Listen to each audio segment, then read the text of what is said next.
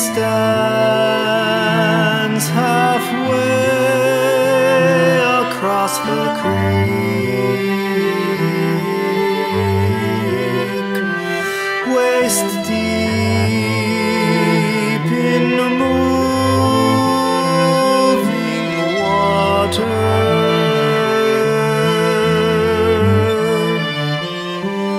Watching the older boy. Talking to some girls.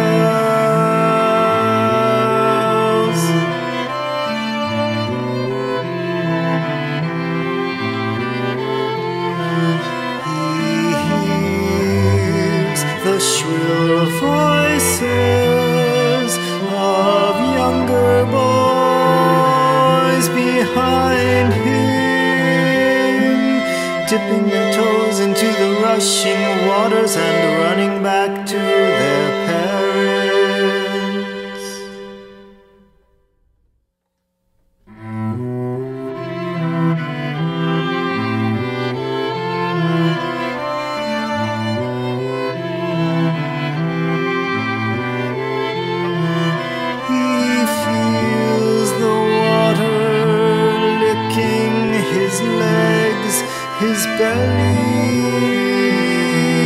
He feels it inside his shorts.